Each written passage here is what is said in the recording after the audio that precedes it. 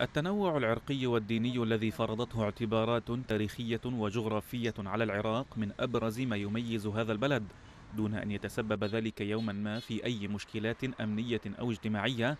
لكن قضية الأقليات طفت على سطح الأحداث بالعراق بعد الغزو الأمريكي عام 2003 ولا سيما بعد تأسيس مجلس الحكم في تموز من ذلك العام على أساس محاصصة طائفية وعرقية. ومنذ ذلك اليوم والأقليات المختلفة في العراق تعاني في ظل حكومات متعاقبة نقضت مشهد التنوع المعيشي إلا من كانت له صلة وصل مع المتنفذين في مفاصل الدولة وأركانها.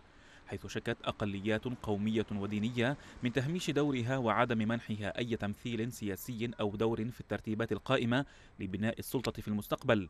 ففي العراق عرقيات كالتركمان والأكراد وأخرى صغيرة تقوم على أساس ديني من أبرزها الطائفة اليزيدية والصابئة والكلدان والآشوريون. وهذه هي التي ينالها النصيب الأكبر من الاضطهاد والتهميش الحكومي بعد أن كانت تحصل على حقوقها كاملة خصوصا الدينية منها.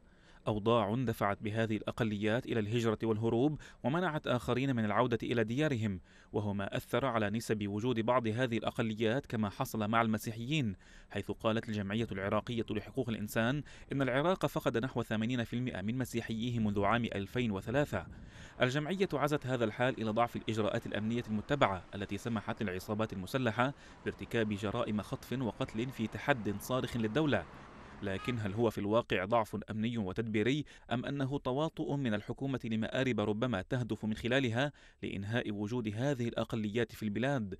وبعد أن كانت الأقليات في العراق تسعى للحصول على مواقع سياسية بنيل تمثيل في السلطة وهذا ما لم تنله وربما لن تفعل.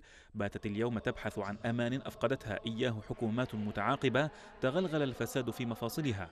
حكومات تخاطر بالتعايش المميز الذي عاش فيه العراق لقرون لحساب أجندات وشخصيات متنفذة فيه.